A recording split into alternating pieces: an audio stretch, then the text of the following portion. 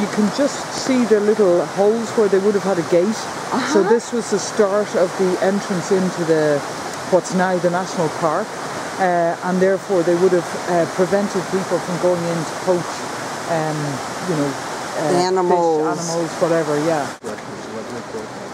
So give you an idea of what to do. They're strenuous, moderate tracks.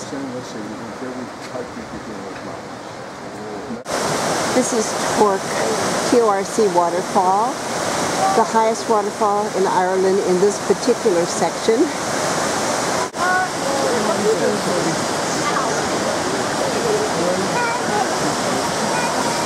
waterfall uh, feeds into the Garrameen River, which comes down from Mangerton Mountain. And there's a story that goes with Mangerton Mountain where the local landowner, O'Donoghue was his name, met the devil for supper one night, invited him up to his castle up in the mountains for supper. So anyway, as men are men, they're inclined to always sit down and eventually conversation will get towards politics. So they were discussing the local politics and O'Donoghue did not like what the devil was telling him. So anyway, O'Donoghue being the fiery Irish tempered man that he was, decided he really did not like the devil and he clocked him. You know, one O'Donoghue did have sense and he jumped up from the table and he ran, left his castle, raced down the hill. The devil got himself up, picked himself up off the floor, was infuriated by what O'Donoghue had done. And he picked up a rock and hurled it after O'Donoghue. And the rock jumped, luckily, over O'Donoghue, landed down in the lowest lake of Killarney, and to this day it's known as Devil's Island. Devil's Island. And up above in uh, Mangerton Mountain, we have what we call the Devil's Punch Bowl, which is where this river rises from. and we're continuing up on this trail.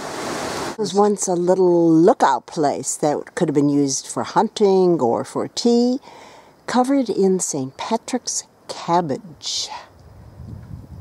Straight ahead of us is so-called Purple Mountain, and down below it, you said, is Eagle's, Nest. Eagle's Why is it called that? It's called Eagle's Nest because that's the last place that eagles, golden eagles, were known to be nesting in Ireland.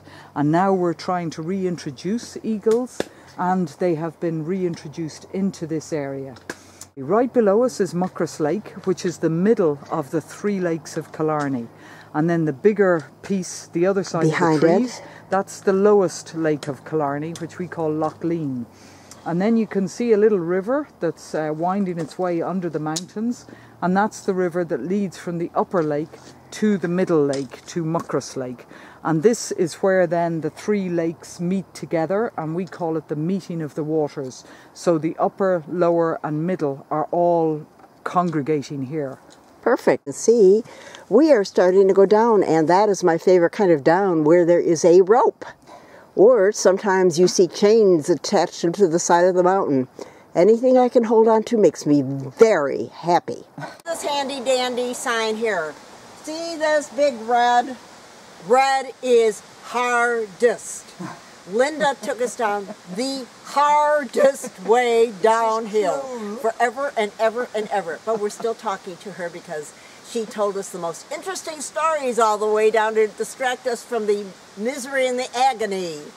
Actually, this was a test to see if the next seven or eight days we don't die on the trails. That's I right. think we passed the Thank test. you, Linda. We made two and a half hours to the old Weir Bridge where all three lakes come together.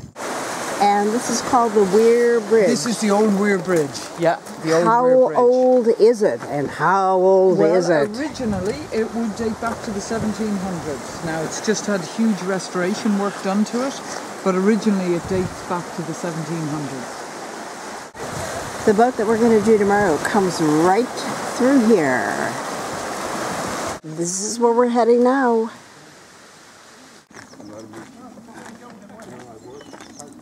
Oh, that's what we're going to do. We're going to take a boat ride back to Muckross.